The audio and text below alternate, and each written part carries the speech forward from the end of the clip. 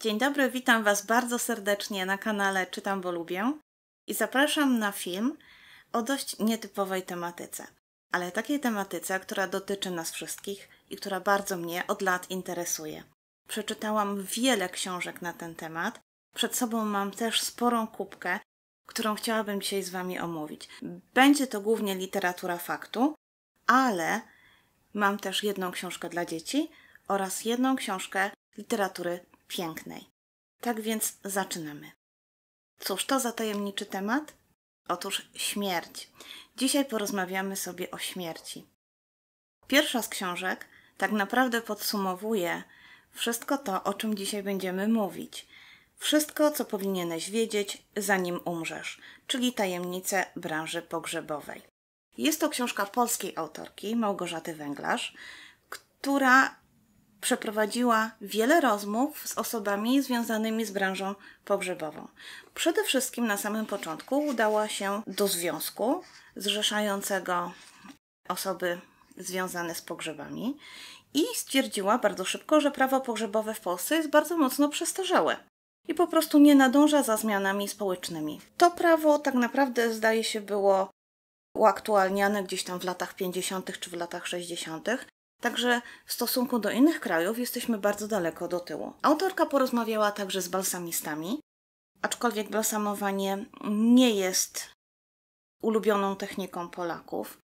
Rozmawiała o krematoriach, rozmawiała także z przedstawicielami branży tanato-kosmetycznej, to znaczy osobami, które przygotowują ciało do wystawienia w trumnie. Co bardzo ciekawe, o czym nie wiedziałam, w Polsce istnieje już y, taka funkcja, zawód towarzyszki w żałobie, czyli osoby, która będzie nam towarzyszyła, jeżeli jesteśmy osobami samotnymi w przeżywaniu żałoby. Jest to osoba przygotowana pod względem psychologicznym oraz także jest doula śmierci, czyli osoba, która towarzyszy osobom umierającym. Co bardzo ciekawe, w Polsce nie ma przepisów, które ustanawiałyby konieczność posprzątania oraz odkażenia lokalu po śmierci. Nie jest to w żaden sposób regulowane prawnie, aczkolwiek istnieją firmy, które się tym zajmują. One sprzątają mieszkania, domy zanieczyszczone szczątkami osób, które tam zmarły i długo przeleżały. I autorka tutaj rozmawia z przedstawicielami takiej firmy rodzinnej, która się tym zajmuje kompleksowo. Także bardzo Wam polecam. To jest naprawdę ciekawa pozycja i co interesujące, przedstawia wszystko z punktu widzenia Polaka, czyli to, co nas najbardziej interesuje. Jeżeli chcielibyśmy jednak poznać zwyczaje branży pogrzebowej za granicą, powstała taka książka, która ma dziwny tytuł Kiedy umrę, zjesz mnie kocie i odpowiedzi na najdziwniejsze pytania o śmierć. Te pytania głównie pochodzą od dzieci. Autorka tej książki jest najbardziej znaną na świecie ekspertką od śmierci, autorką trzech bestsellerów, przedsiębiorcą pogrzebowym. Prowadzi kanał na YouTubie, który subskrybuje milion obserwatorów. Tak więc kobieta zna się na rzeczy. Ta książka nawet ma jakieś ilustracje. Proszę zobaczcie, one są takie dość zabawne. Jest bezpieczna dla dzieci, ale także rzeczywiście dla dorosłych. Pytania, które zadają dzieci, są naprawdę przedziwne. Na przykład, czy po śmierci można oddać krew? Ale autorka w żaden sposób nie naśmiewa się z tych jakości tych pytań. Odpowiada w sposób bardzo rzeczowy, przytacza przepisy prawne, które to regulują w Stanach Zjednoczonych i odpowiada bardzo fachowo. Na przykład, czy mogę babci wyprawić pogrzeb w stylu wikingów. Czy mój ukochany mruczek nadgryzie moje zwłoki, gdy umrę? Czy pozwala się trzymać czas czaszkę mamy na biurku? Tak jak więc widzicie, pytania są bardzo dziwne, ale odpowiedzi bardzo rzeczowe. Ja Wam tę książkę bardzo polecam. Kolejna książka nazywa się Wyznania przedsiębiorcy pogrzebowego. Napisał ją Caleb Wild i teoretycznie moglibyśmy powiedzieć, że facet powinien znać się na rzeczy ponieważ on sam od ponad 10 lat prowadzi firmę pogrzebową, ale wcześniej tak naprawdę przez całe życie poznawał tajniki tego biznesu, ponieważ jego ojciec był właścicielem firmy, którą później jemu przekazał. Natomiast jeżeli liczycie na to, że dowiecie się tutaj wiele na temat branży pogrzebowej, że opisze on jakieś ciekawe przypadki ze swojego doświadczenia, to niestety bardzo się mylicie. On raczej skupia się na religijności. Poza tym pisze bardzo kiepsko. Zaraz Wam przeczytam próbkę. I jeżeli uznacie, że takie pisanie Wam odpowiada, to dlaczego nie? Sięgnijcie sobie po tę książkę. Mnie natomiast to potwornie irytowało. Uwaga, cytuję. Zakładamy, że niebo i śmierć nie mogą się mieszać, podobnie jak olej i woda. Ale moje doświadczenie dowodzi czegoś innego. Ponieważ miłość rodzi się wokół śmierci, niebo zjawia się po cichu właśnie w tych małych, lecz pięknych chwilach. Śmierć i niebo bywają złączone na sposoby, których być może nie jesteśmy w stanie dostrzec czy poczuć. Śmierć i niebo są jak ziemia i kwiat, więc gdy niebo zda zdarza się tu na ziemi, śmierć też jest częścią zestawu, która pozwala, by piękno nieba niczym krew przesiąkało do naszego tu i teraz. No, według mnie jest to jeden wielki bełkot. I takich beznadziejnych fragmentów w tej książce jest naprawdę sporo. Także raczej Was ostrzegam niż zachęcam. Wracamy na nasze polskie podwórko. Angelika Kuźniak napisała książkę pod tytułem Soroczka. Soroczka jest to rodzaj koszuli, która bardzo często była ubierana zmarłym do trumny. I jeżeli spojrzycie sobie na okładkę, to zobaczycie tutaj taki komplet ubrań, łącznie z rajstopami. Jest tutaj też różaniec i książeczka do nabożeństwa. To są ubrania przygotowane przez jedną z bohaterek tej książki właśnie do trumny. Angelika Kuźniak udała się do starszych ludzi, bardzo często ludzi żyjących samotnie, i zadała im pytanie, w jaki sposób przygotowują się na śmierć. Pytała też o to, jakie ubrania mają przygotowane do trumny. I oni bardzo chętnie dzielili się zawartością swojej garderoby, mówili, jak się przygotowują. Ale te rozmowy nie dotyczą tylko i wyłącznie śmierci. Ci ludzie po prostu bardzo chętnie rozmawiają z tą dziwną reporterką, która jest młoda, a zadaje pytania dotyczące spraw ostatecznych. Opowiadają często o swojej młodości, czasem są to czasy jeszcze II wojny światowej. Opowiadają o bliskich, których już zdążyli pochować. Opowiadają o swoich nadziejach i o swoich lękach. Przytoczę Wam tutaj fragment jednej rozmowy. A o czym to my? Ubrania na śmierć. No przecież, Mam jeszcze kostium. Sukienka jest dłuższa, bardzo ładna, już przymierzałam. Kołnierzyk zdobiony. Nawet majtki na ryneczku kupiłam. Książeczka do nabożeństwa.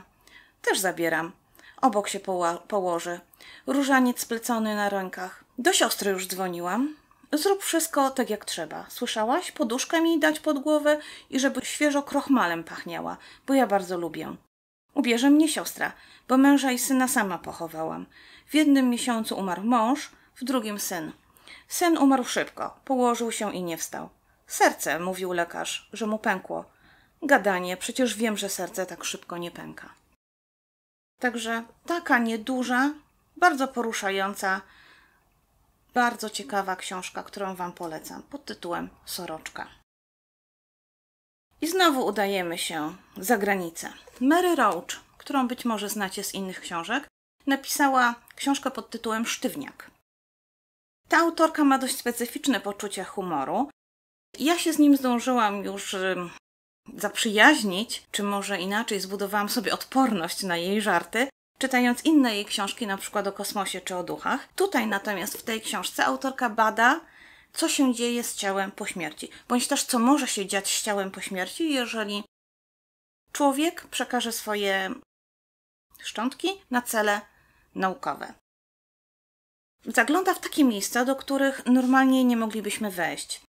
Jest to na przykład szkolenie przeprowadzone dla adeptów sztuki operacji plastycznej dla młodych lekarzy, na którym uczą się przeprowadzać operacje na głowach, samych głowach osób zmarłych. Autorka też opowiada na przykład o być może znanej Wam farmie w Tennessee, gdzie ciała są poddawane rozkładowi w różnych warunkach, na różnym terenie, w różnych temperaturach. I wyniki tych badań służą później policjantom, kryminologom do określania daty śmierci znalezionej osoby. Dociera także do wojska, gdzie dowiaduje się, w jaki sposób przeprowadza się badania tego, jak ciało reaguje na przykład na wystrzały. Oraz do lekarzy, którzy badają ciała zmarłych w katastrofach lotniczych i dzięki temu dowiadują się, jaki był przebieg danej katastrofy, bądź też jaka była jej przyczyna. Jest tu bardzo wiele różnych miejsc i bardzo wiele różnych sytuacji, w których ciała nieboszczyków służą rozwojowi nauki, służą tak naprawdę nam wszystkim. Także Mary Roach, ja mam akurat w starej okładce, to jest chyba pierwsze polskie wydanie. Wiem, że ta książka ukazała się również w innej okładce i prawdopodobnie w dalszym ciągu można ją znaleźć jeszcze w księgarniach. O rytuałach i wierzeniach związanych ze śmiercią wspominała też autorka pierwszej przedstawianej książki, czyli tej, która miała tytuł Zanim umrzesz. Ale mam tutaj książkę Grzegorza Kapli, Oblicza śmierci, która właśnie skupia się tylko i wyłącznie na wierzeniach, rytuałach związanych ze śmiercią. Ale nie w Polsce, albo nie tylko w Polsce, lecz na całym świecie. Autor dociera na wszystkie kontynenty i opisuje naprawdę niesamowite rytuały związane z umieraniem, żałobą, odchodzeniem. Ja tutaj zaznaczyłam kilka cytatów, które chciałabym Wam przytoczyć, żeby Was zachęcić do przeczytania tej książki. Źródła historyczne podają, że w niektórych regionach Australii obserwowano przypadki kanibalizmu jako elementu rytuału pogrzebowego. Wybrani członkowie klanów zjadali fragmenty ciała, zanim zostało umieszczone na platformie w celu oczyszczenia kości. Kolejny fragment dotyczy ludu Fidżi. W okresie żałoby ważne były czwarty, dziesiąty i setny dzień po pogrzebie, bo wiązały się z nimi określone tabu. Dzisiaj, choć mieszkańcy są chrześcijanami, wciąż respektują w czasie żałoby te wyjątkowe dni. Nie wolno na przykład przez 100 dni jeść potrawy, jaką zmarły spożył na swój ostatni posiłek. Ten obyczaj nazywa się luftbenu. Inne tabu dotyczyło połowów ryb. Nie powinno być ich w morzu więcej niż w czasie, kiedy żył zmarły, bo jego duch miałby się czym żywić.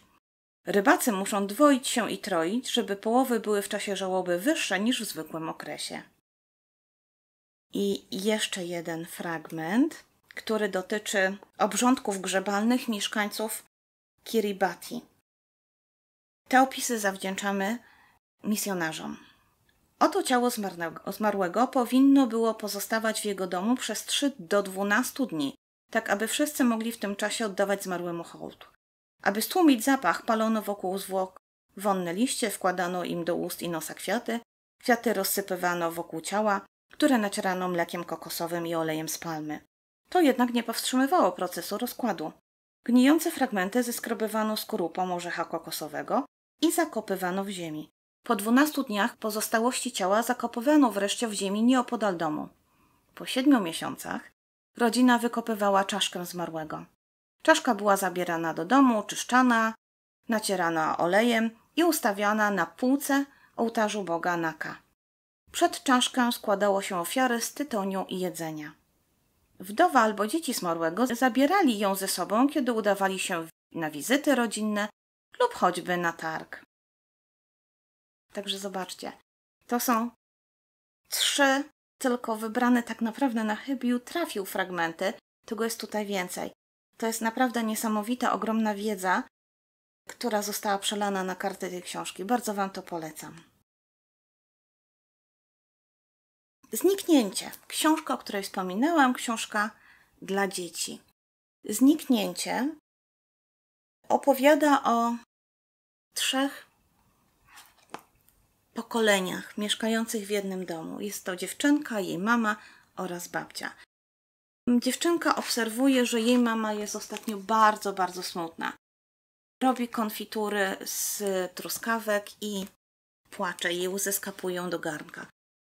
Mama nie zauważa świata wokół, wokół siebie. Dziewczynka testuje granice jej wytrzymałości i ostatecznie chowa się w pokoju babci. Ale babci tam nie ma. Babcia niedawno zniknęła, gdzieś prawdopodobnie wyjechała, ale nawet się nie spakowała.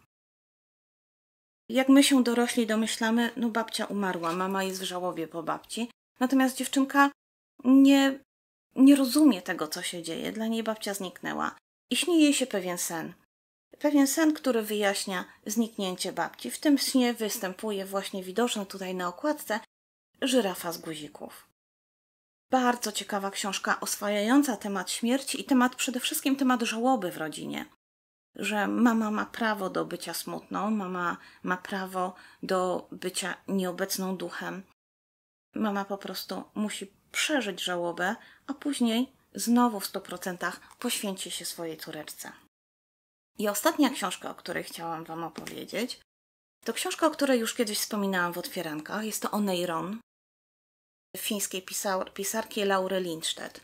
Oneiron ma podtytuł, zaraz Wam go przeczytam. Fantazja o kilku sekundach po śmierci. Ta książka opowiada o kilku kobietach, które spotykają się w dziwnym miejscu, miejscu, które jest białe, tak naprawdę nie ma ani góry, ani dołu. Wszystko tam jest białe, nie ma żadnych przedmiotów. I te kobiety na początku nie wiedzą, że właśnie umarły. Ale kiedy zaczynają ze sobą rozmawiać, a tak naprawdę dzieli je wszystko, one pochodzą z różnych części świata, są w różnym wieku, mają za sobą przeróżne doświadczenia, to w pewnym momencie dochodzą do wniosku, że prawdopodobnie nie żyją. Ale do końca nie wiedzą, w jaki sposób ta śmierć nastąpiła. I mamy tutaj pewne przypuszczenia. Prawdopodobnie wielu czytelników będzie zaskoczonych zakończeniem tej książki, ale sama książka jest naprawdę cudowna, jest wspaniała. Te opowieści tych kobiet są tak poruszające, tak prawdziwe, tak dające do myślenia, że naprawdę warto tę książkę przeczytać. Ona pokazuje, co kobiety przeżywają w ciągu swojego życia, w jaki sposób także mogą to życie stracić. Tutaj nie ma nic tak, tak naprawdę nadzwyczajnego, ale jest to tak pięknie opowiedziane, ujęte w tak ładną formę, że bardzo Wam tę książkę polecam. To były wszystkie książki, które chciałam Wam pokazać na temat śmierci. Mam nadzieję, że nie zraziłam Was tą tematyką do siebie, że spotkamy się ponownie, że zechcie, zechcecie polubić ten film. Jeżeli znacie jakieś inne książki, o których nie wspomniałam, a które uważacie, że powinnam przeczytać, proszę zostawcie mi ich tytuły w komentarzu. A tymczasem żegnam się z Wami i zapraszam Was za tydzień. Pa, pa, pa, pa, pa, pa, pa, pa.